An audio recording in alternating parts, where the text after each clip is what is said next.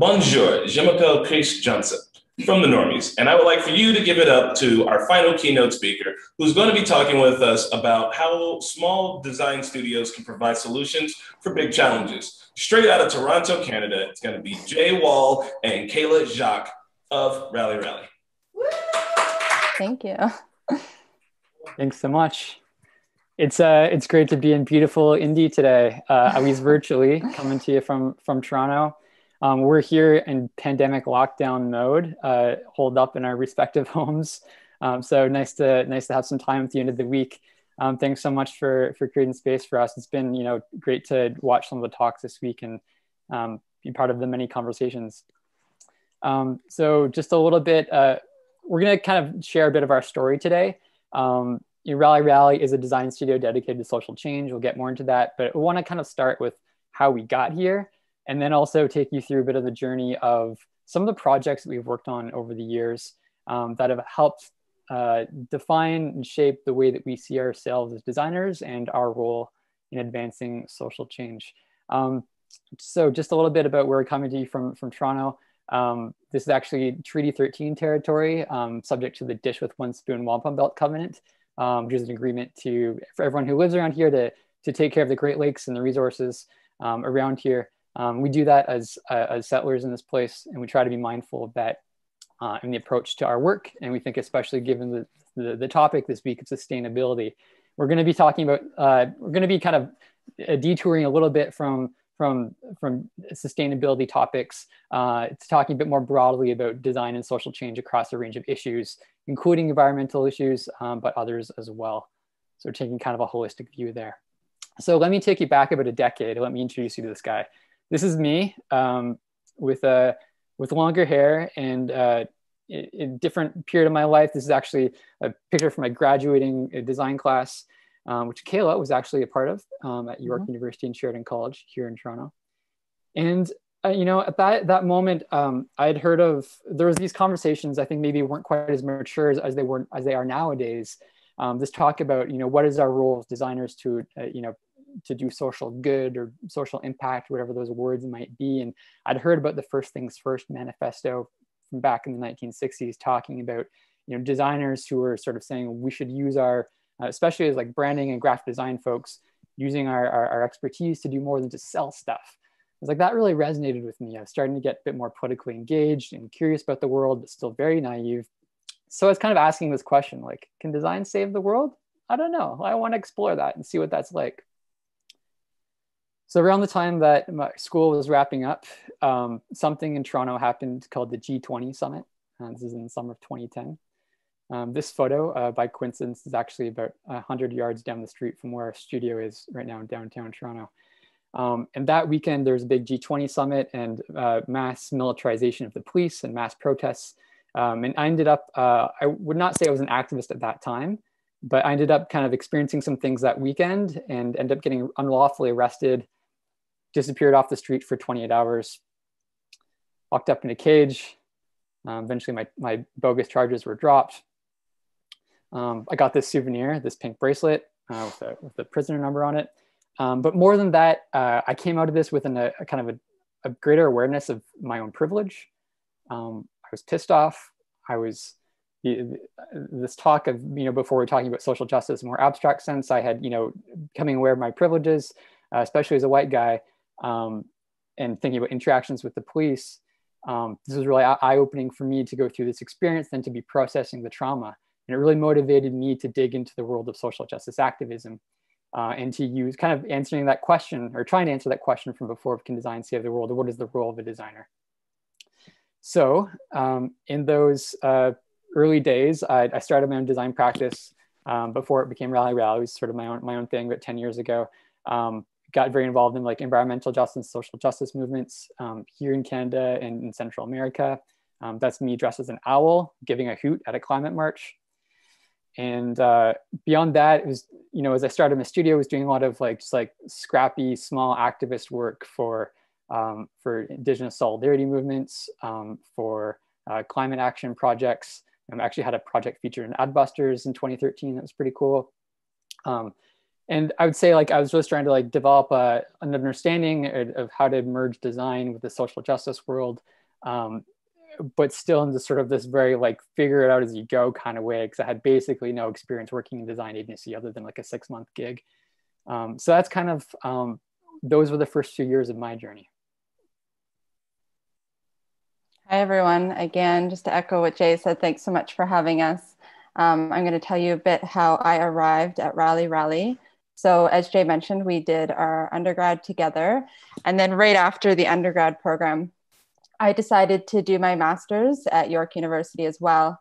And this really was because I wanted to explore a topic that interested me very much so, a bit deeper. And really, when I stepped into my career, I wanted to show a portfolio of work that really um, spoke to what you know my values were and what was at my core, and present that type of work um, in the industry. So I wanted to focus my brother, I should mention, my brother has, uh, his name is Michael, and he has autism and an intellectual disability. And I've always been interested in, you know, how he sees the world and how he learns.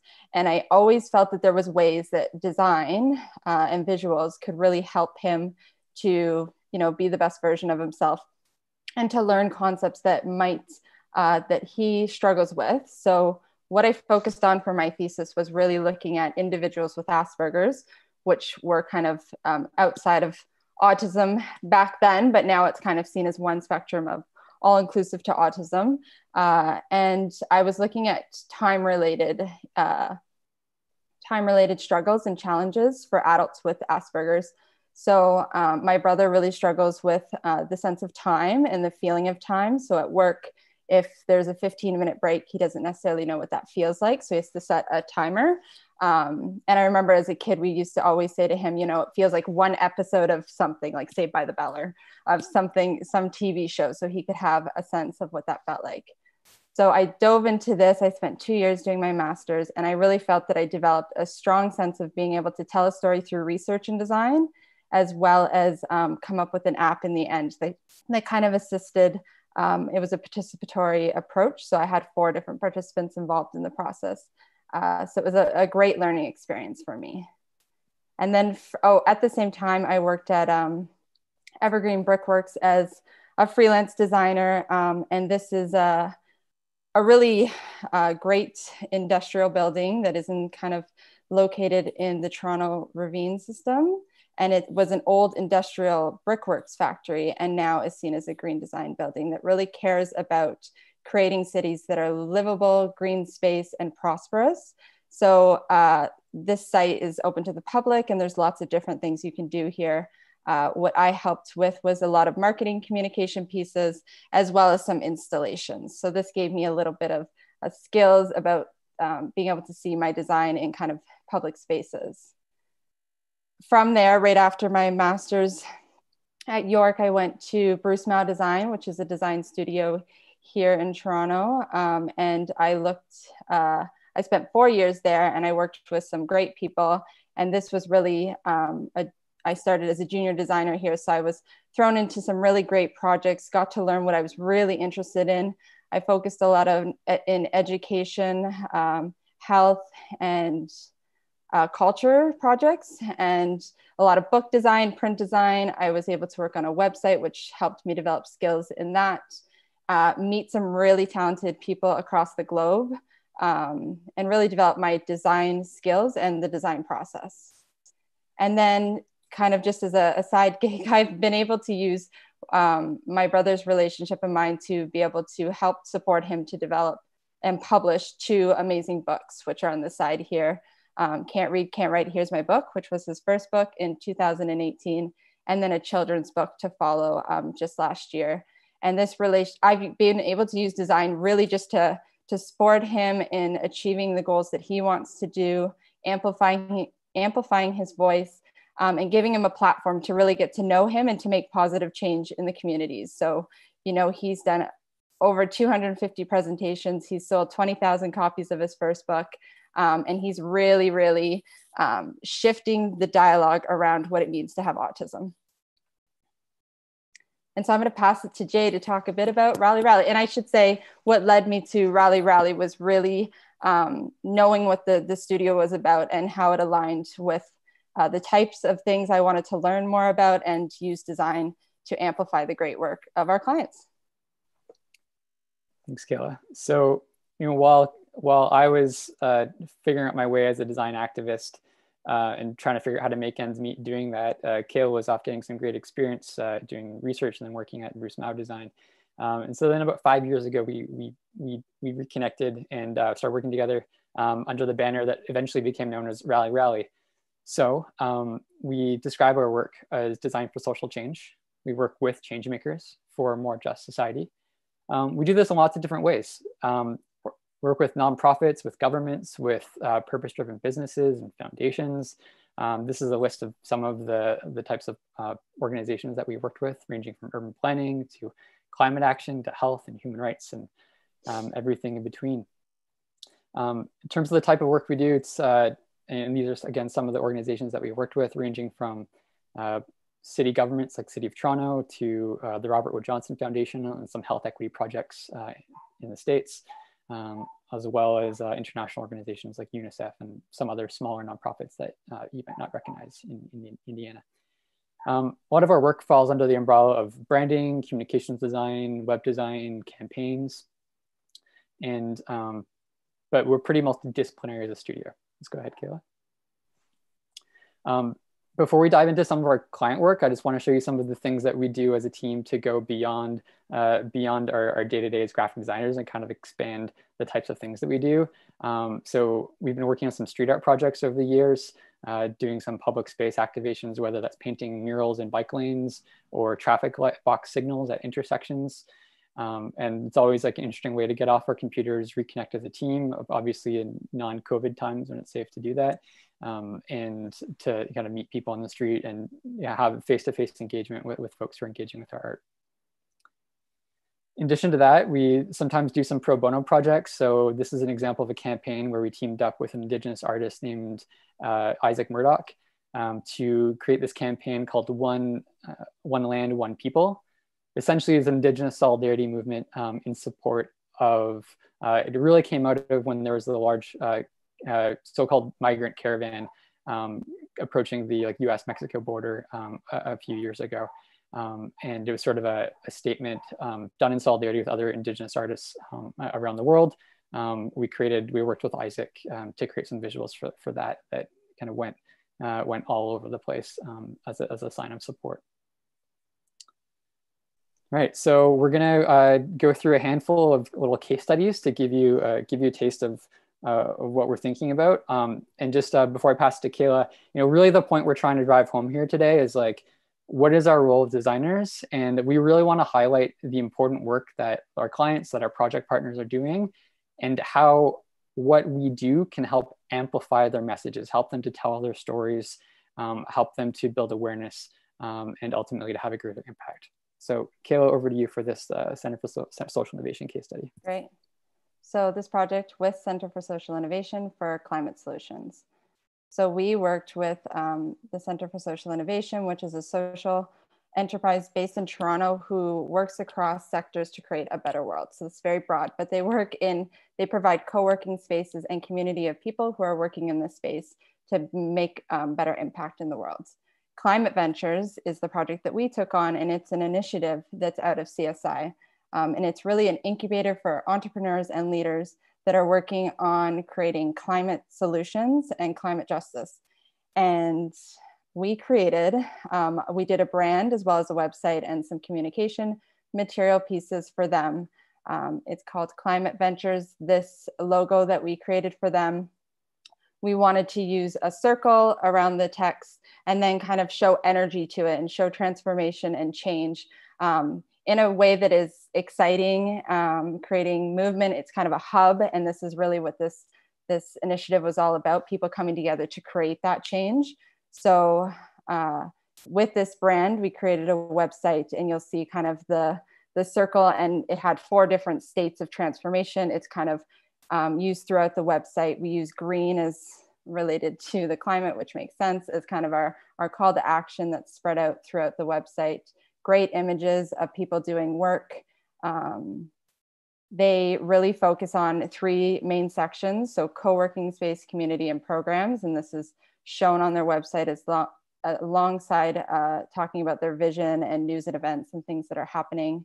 This is a site that we knew uh, needed to be credible and give these people a really good space to go to to show the work they're doing and to collaborate and get to know other people. Um, and we knew that it would evolve and that was kind of a tricky task to, to work around, but to provide them with other colors that they could use for different programs, flagship programs. This is an Earth Tech one uh, that we could give the space to as the program got more funding uh, to do this, this type of work. Um, and a really important part of this was to showcase the people doing the work and give uh, these great photos and the different work they're doing a place or a stage to, to show that. Uh, and this could be anything from fashion to transportation. These are all people that are really passionate about um, the climate and making it better. Another thing I should say is the website has a filtering option for the community that allows people to kind of sort uh, who might align with uh, the sustainable development goals or the type of work that they're doing or the type of people. So it had a lot of different filtering options. And we were able, this was actually a space that we used to work in. So we were able to go back to the space, which is a couple doors down from our current building, um, and look at the space and kind of add some of our, our graphics to the space to really uniform and unite the brand. So what this has really done is they've been able to attract members, funders, get media attention, and it really gave them a good platform for the awesome work they're doing. Um, they, the members have raised $33 million um, just in the last two years. So we know that this isn't all attributed to the brand, but it, it is helpful to see um, how a brand and a story and the hard work that our clients are doing around such an important issue, climate change, uh, can kind of all package into one. Right on. So our next project is actually one of the members of Climate Ventures, hmm. uh, Environmental Technologies. Um, so this is a project we did with Phytech for clean energy. Now, um, works in biogas. Essentially what biogas is, is it means like taking uh, organic waste and converting it into renewable energy. Um, so imagine like that apple core um, or um, uh, I mean, even like wastewater. Those are things that be, can, be transformed into energy. So um, came to us uh, about a year ago. They had been established as a company in Germany um, with, a, with, a, more German sounding name, Finsterwalder Umwelttechnik. And they were preparing to open up a North American uh, branch of the company uh, called Phytech. Um, now, essentially, this is a, the biogas space is really dominated by a lot of like really engineering oriented language and visuals, lots of blues and greens. And so we were looking for an opportunity with Phytech uh, to stand out and set them apart. Thankfully, they have something that I can actually stand behind in terms of that because Phytech is a really, um, really design-driven approach to uh, the biogas plants that they build and the biogas products that they supply. They kind of see, see, themselves as the Apple of biogas, even though they're much, much smaller. They're basically a startup, um, but we wanted to help them establish credibility and uh, expand into the North American market. So in terms of visual identity, um, we looked to the original uh, German logo and simplified it. We took some elements. There were some red arches based on the original logo. Um, we pulled them out and made this um, this more simple, bold mark um, that they could really uh, stand behind. Based on that, we developed this whole marketing toolkit. Um, and part of it was like not just the look and feel, but also how do we tell this story about biogas in a way that doesn't just speak to the biogas geeks, but is also going to be of interest to um, government procurement people who are looking at municipal waste systems um, or to uh, other potential partners who maybe know a little bit about biogas but aren't experts. So we developed some language with them, like waste has never been this clean. We took those arches and we did some a lot of original photography, uh, photography and video and integrated those arches as a graphic device through the system. So you'll see here through some of the samples of the website um, where we've, uh, again, all original photography. We worked with, uh, we went to four different sites across Canada uh, getting shots of, of their biogas plants in action, um, testimonials from their very happy clients, and then paired that with some engineering oriented content, a bit more of like, okay, so not just what are you doing, but how does it work? Trying to explain some of these products. And we developed a typeface system that, that balances this like more marketing voice with this more a technical specification engineering vibe um, with these really strong navy, navy blues and reds. Um, and then again, here's some examples of how that works on the website. Um, so we've currently been helping them to roll this out, roll out the branding across all their materials, uh, everything from their trucks to their, their apparel. And uh, addition to that, we, we made this like epic two minute brand anthem video to help tell their story. Um, and uh, it's, you know, if you go to phytech.ca later, you'll get to see some of that. And so here's some, some stills um, from that video. And one of the cool things about Phytech is um, recently, you know, we launched this website and they shared it with their German counterparts. And the, Ger the German team said, oh my gosh, Phytech, you look like a very big and established company and you're actually only a couple of people. And we're like, yeah, exactly. That's kind of what we're going for. So this is an example where um, they're, they're a really uh, amazing company um, helping to drive forward biogas solutions, which is like a really important aspect of, of climate action. And uh, we've, we're helping them to reach new audiences and to expand their business by helping them to tell their story uh, more clearly. Great. So the next project we're going to talk about is with UNICEF for rights of women and girls.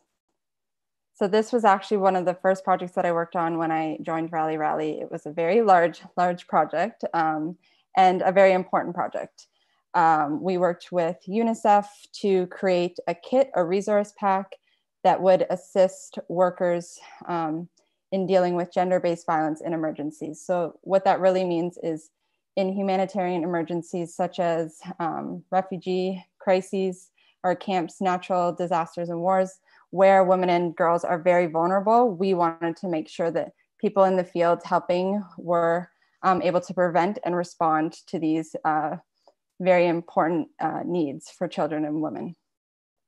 So uh, when we were tasked or when we read the brief, uh, we were kind of surprised at how robust and dense this document was. It was uh, 2,600 pages of content that we needed to read through very important content content that would be used by different audiences at different times. Um, so we needed to think of a way to make all this technical information not only accessible to country officers, but to people in the field working with the women and children. Uh, and how are we going to do that? We didn't want to have an encyclopedia of content that someone wouldn't be able to, to bring into the field. So how could we break up the content into these different typologies to um, make it useful. These were some prototypes that we developed to kind of see, you know, what's the right format for this? Is it a, a box that you open that has a different uh, different booklets in it and different pieces that you can take out and bring with you as you need, or is it a binder um, that has divisions in it and different page sizes so you can have easy access? But again, a series of binders. We kind of knew based on this amount of content that it was going to have to be a series of something. So um, they actually, the client, we worked with someone in New York that was from the UNICEF team, a project manager that was also based in New York, and we were working with a writer in Australia. So this was a very collaborative project, and we were doing it kind of in this the similar way to COVID, where it is remote. But uh, what we came up with was a series of kits uh, that would be housed together, and we came up with nine. So from getting started to the assessment to responding to kind of evaluation. And something that I want to speak to is the design for this. So we were really inspired by the photography that we were working with, the places, the textures, the colors that we saw. And we wanted to create something that evoked um, kind of a feeling of hope and optimism and was positive. So there's a little glitch here, but I'll go to this page. And mixed with the idea of uh, being able to showcase photography, we use color, icons, numbering to really sort out the content and make it easy to kind of navigate through. This is an example of what one kit would kind of contain, a card, a case study booklet, a assessment booklet, some tools, learning modules. There was kind of an overview story. And then this is what some of the spreads would look like. So, you know, still making it designed and like someone would want to read this and pick it up and go through the content and kind of guiding them through the process. So you can see the icons are used throughout the text to then get them to pick up the case study book. So this is a preview of what you would see the full case study in its own booklet. There was additional resources that people could um, draw their attention to. And this really was um, made for people that had extensive knowledge in gender-based violence um, education and then people that were just coming to it new and needed to be able to have those extended resources available to them. There was a series of worksheets where people could do the assessments in the field to see uh, what is needed, what do we need to do immediately. And again, working with this kind of abstract visual and color coding to really uh, make this resource kit optimistic and get people excited about doing this work when it is a very uh, sensitive topic. Uh, this is for learning modules. So this is for people that would use this more in the country offices where they're educating people and running a class on what it is you're to do. And this is just a photograph of everything together. So this was a really fun project. It was a long project, but it definitely was a very important one. It's needed. Um, oh, and we were excited to be a part of it. Thanks, Kaila. Coming back a little closer to home now, uh, we want to show you a project in the city of Windsor, Ontario. This is a project with Transit Windsor for integrated mobility. So um, if you can picture uh, Detroit, Michigan, and Windsor, Ontario, one of the one of the interesting places at the north at the U.S.-Canada border, where Canada is actually to the south. Um, so this is just across the river from Detroit. We're in the city of, of Windsor. It's a mid-sized city, about 200,000 people. Um, we were working with the tr public transit agency, Transit Windsor, as well as a, a transit consulting firm, uh, Dillon Consulting, um, to basically come up with a new transit master plan. So uh, let's go to the next slide.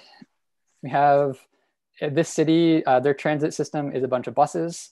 Um, the transit system itself uh, hasn't really been updated in about 40 years in terms of the route maps of like where the buses go and what the schedules are. But the city is like quickly changing and evolving. You have a rapidly diversifying population.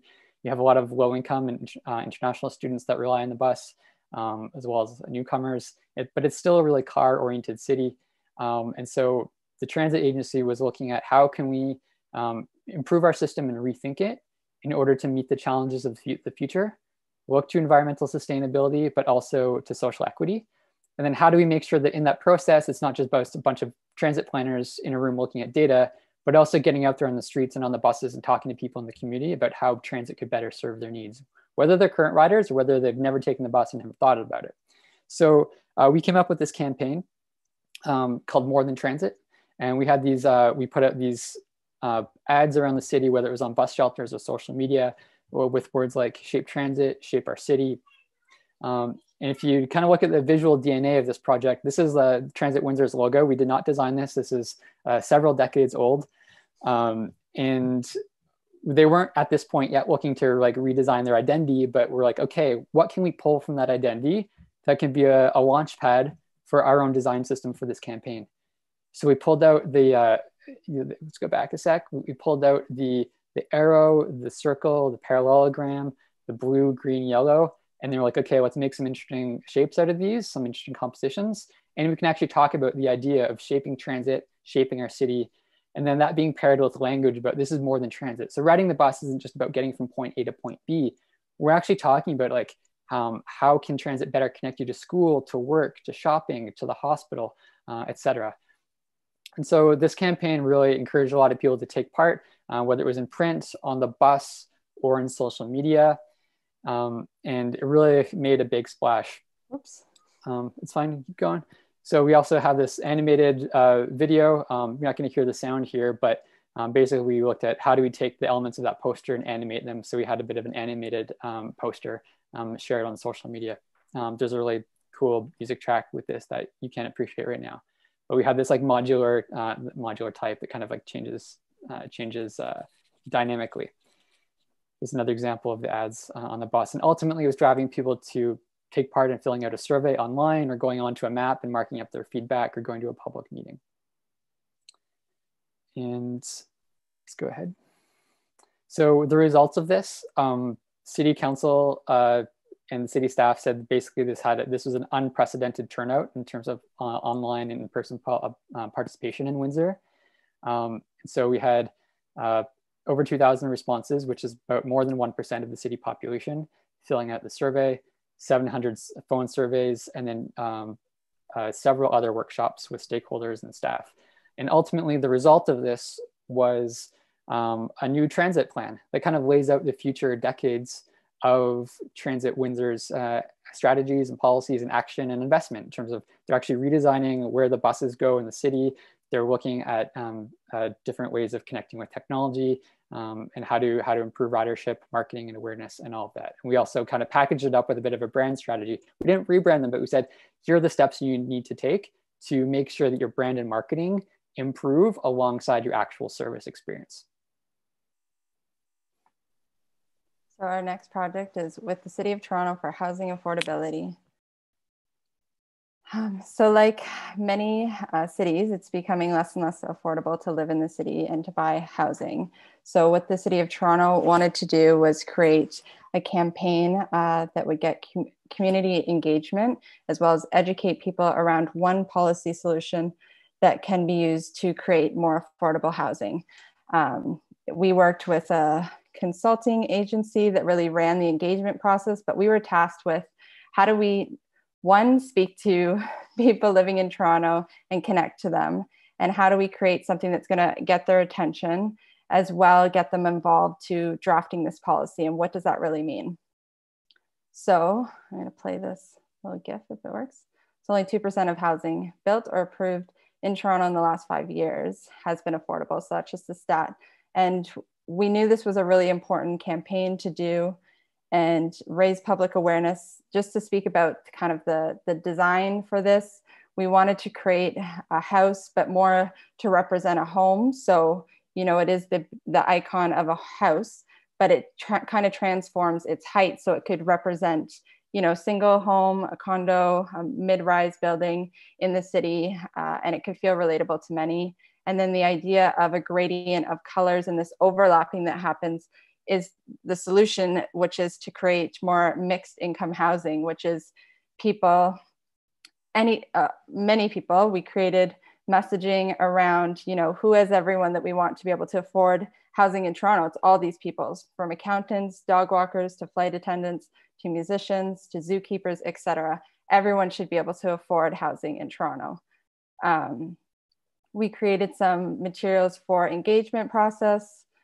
And what this really means is it was about getting uh, housing activists and developers to kind of get on the same page when it comes to a city and the importance of mixed income housing where you know if someone were to develop a home uh, a condo building a certain percentage of those units have to be affordable to people so what does affordable mean there's lots of things that are defined in this policy uh, and that's something that the city was looking to the community to help shape. And you can see there was workshops to get uh, people thinking about this. So again, to really create a, a complicated subject matter, this was something that I had to learn more about and making it accessible and that people could have this, com- uh, this conversation and make change in policy and help shape it. So we use these graphics in this color system to kind of play with infographics and create um, data for people. And really this, this policy is still being drafted. But as I mentioned before, it was seen as a way for a bit of a common ground between housing activists and uh, developers in the city to see the, the importance of this and how we need to move in this direction. So uh, that was a fun campaign that we got to do with the City of Toronto. Okay, this is uh, one more project to show you and then we're gonna wrap up. So this last one is with Artery for Equality and Civil Rights. So Artery is uh, a, a, startup with a large presence in Toronto and New York, as well as other cities, um, that believes every space is a stage. So basically they serve to, they connect creators and artists uh, with people who have a space to offer. So for example, they have concerts in people's backyards. Uh, I've heard of operas in bathrooms where like five people buy a ticket and crowd into a bathroom and the singer standing in the in the tub. Um, you have had you know you might have an art show in a in a barber shop or a laundromat. Um, so they do these really interesting uh, pairings of uh, and it's a community-based platform where you can offer your space or if you're looking for a space to show your work, you can come together and make that happen. Now, um, back when the previous uh, president was elected, um, and there were very quickly some, some harmful uh, policies that were particularly xenophobic and racist put into place. The artery community wanted to come together and show a strong response to that. So they're asking, how can we support um, the cause for racial justice and inclusion in America, uh, while also helping to build community and, and, and strengthen those ties within the artery community. So they came up with something called 14A. 14A is actually a, short form for the 14th Amendment, which basically asserts uh, each individual's rights um, to be treated equally under the law. And so we helped the artery team to build awareness of this campaign uh, in a bit of a movement by, by creating a visual identity uh, for this. So 14A, so we took the, the letter 14A, we put them on uh, a stage, which is also a reference to the stripes of the, of the American flag, which is also an equal sign. So really reinforcing that idea of equality. And that they're saying it was pop-up performances in support uh, of civil liberties and human rights. Now, this is just a little like sketch of how it works. So you have that 14A equal sign, it opens up kind of like a stage and it can become a place where you put in uh, powerful statements and images. So um, this is an example of how it could work.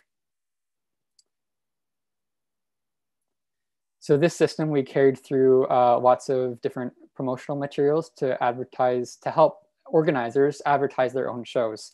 Now, we heard from the artery community that not everyone wanted to lean into like a ultra patriotic uh, blue and red palette. We actually created a palette that was a bit of like a teal blue and a bit of a coral red, kind of referencing the colors of the Women's March. But then we created an alternate palette so that if you weren't comfortable with those colors that didn't speak to you, you could choose from something else like green or black or violet. Um, and then you could populate these poster templates or these social media templates with information about your own showcase um, to get the word out, but then also to report back and share highlights from like you know, Instagram shot of what happened last night in my apartment. Um, so this helped to the, the community to, uh, to get the word out and to like be, be very clear in asserting what they stand for. We even came up with this idea of like these cards that could be printed out and like put out on the table at the showcase where you could fill in that blank space, fill in that stage yourself with a marker. Like what does 14A mean to you?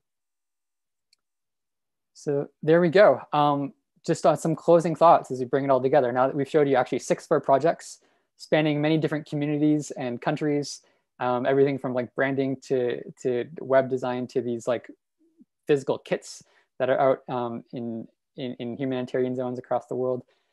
Ultimately, a point here is like good visual communication can cut through the noise and make complex topics approachable. Um, so, you know, we really see design not just being about like prettying things, prettying things up, but actually, okay, so the clients that we work with, they're doing really important work um, we like to help them amplify their message, to bring more people into their movements, uh, to help them raise funds, to build awareness.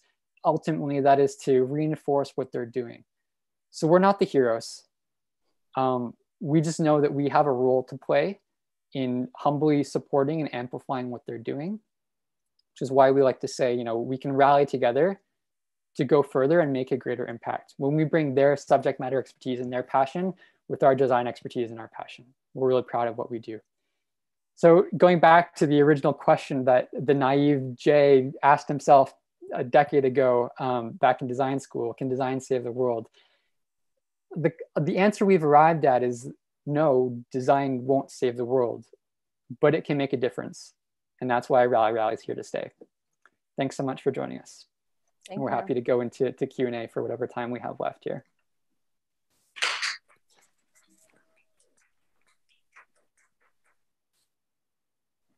Guys, thank you so much. Um, I want to be very, very uh, cognizant of your time, um, but I definitely want to thank you for being here um, to both you, Jay, and Kaila, and again to Jay, who has a newborn at home, for making this time to uh, come and, and be in our little little city um, and, and really show us the fantastic work that you guys have been doing. Um, I liked the, the, the just the level of your work and how great it is. Uh, the quick distancing uh, from the, the Transit Windsor logo, that was definitely not your logo, but you were still able to take bits and pieces of it and, and create something remarkable. And was able to bring uh, a bunch of support and um, questions and, and bringing the community together to build something that was that was that's better for the transit system, which every every major city needs in you know, just saying. um, So, so I do want to be aware of your time. So I'm, I'm really just kind of going to ask one question and then a silly question.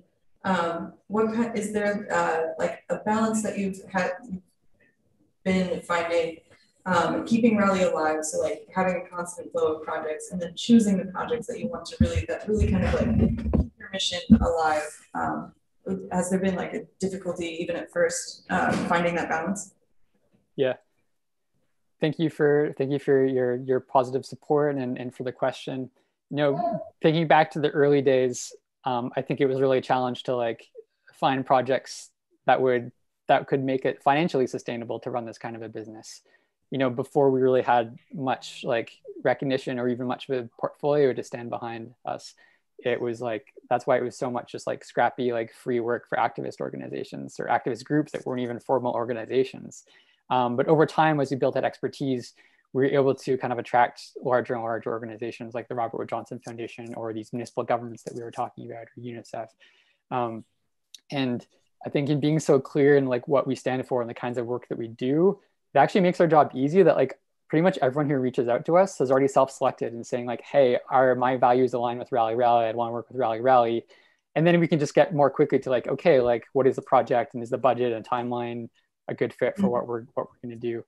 Um, the actual like pretty much everyone who reaches out to us, we're super stoked about the type the types of things that they're doing in the world, and like that's kind of energy that we want to be a part of. Um, one other note related to that is, um, I think it's important or it's useful as a studio like this to not just work with nonprofits. Um, certainly, mm-hmm. a nonprofit organization is one type of organization moving the needle forward, forward on issues, but mm-hmm. certainly, you know, governments, um, and uh, purpose-driven businesses. We talked about like Phytech, that biogas company, um, you know, mm-hmm. who are basically still using a model of capitalism, um, but um, but trying to use it for good. Um, and we found actually having that diverse set of clients and partners has helped us to weather the storm of COVID.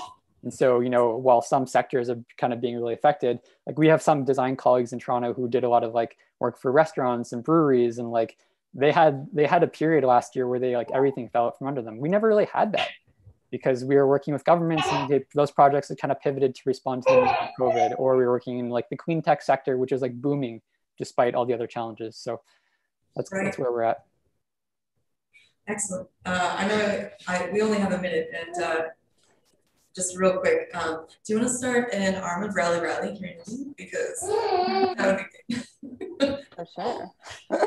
Uh, yeah. Um, yes. I'm sorry if I phrased the question in a way that made you feel like you had to say yes. Um, I was kind of hoping for that. um, um, no, I mean, we actually, we've actually been doing more and more work uh, in the States. Um, like currently we have some, pro- uh, just wrapping up a project in uh, North Carolina in Mecklenburg County with their Parks and Rec department um, as well as working in Maryland with the Maryland National Capital Parks and Planning Commission. Um, and so looking for like more and more opportunities in the States. And I think with that comes, you know, we're also happy to be building more of these connections and friendships with our, with our American pals um, to actually like work with us as well. Um, and I know that one of our, another member of our team, Rodrigo Calderon is actually uh, uh, uh, watching in today too. And, you know, you know, um, his kind of home base has been San Diego and has lots of uh, connections. So I think you know Rodrigo is also keen to help us um, extend our, our arm into into the states and and and get some high fives and, and build some things together. Um, Kaila, before we wrap, can you just go to the last slide so everyone oh, can see our contact info there? Thank you. So yeah, this is a place where you're welcome to to reach out. Um, rallyrally.design or at rallyrally4 at that's F-O-R on all the social handles um, or, or email me and can be in touch. Um, and if you have any final, if you have any final questions that have like come through the chat, um, feel free to ask and maybe Kaila can take a, uh, take a quick pass before we, we shut this down. Oh, perfect. Thank you, Dave, for uh, doing that quick flip over there. Um, as far as uh, other final questions, um, I think on like I'm seeing a lot of uh, bravos in the in the chat. And um, the other questions I think uh, were about finding work. Um, it seems like you've hit a, a stride at a point where the work is finding you, which is which is like the idea of self-sustaining, right? And that's like a, a design agency's dream. mm-hmm. uh, we'll be able to put um, your contact info into the chat box. Uh, we had it up for a little while on screen and then we came back uh, over here. I'm watching both. There's like a little bit of a delay that I'm having to bump right through. Um, so yeah, I think we're we're all good here. Um, and sorry, that was Woo! Yeah, thank you um, but so dude, thank you so much. yeah, yeah. thank you guys. Thanks for having us. You're welcome and thank you. We're sending all our love from Toronto.